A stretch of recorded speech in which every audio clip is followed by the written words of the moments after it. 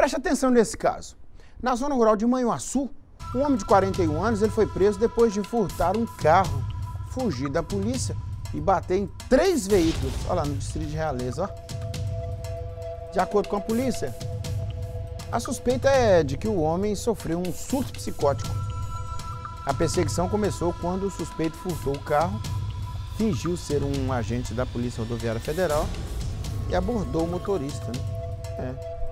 Depois de receber o carro, o homem fugiu em alta velocidade.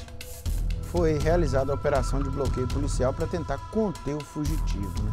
O homem desobedeceu às ordens de parada dos militares e seguiu pelo perímetro urbano. Olha só.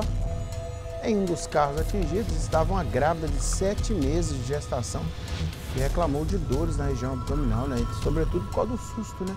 Ela foi atendida pelo Corpo de Bombeiros e passa bem, mas como é que pode, né?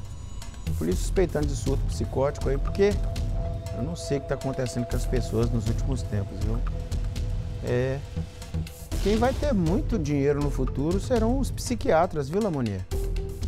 Psicólogos, é, no futuro. Tem que cuidar da nossa mente, viu, gente? Você que anda esquecido demais. Né?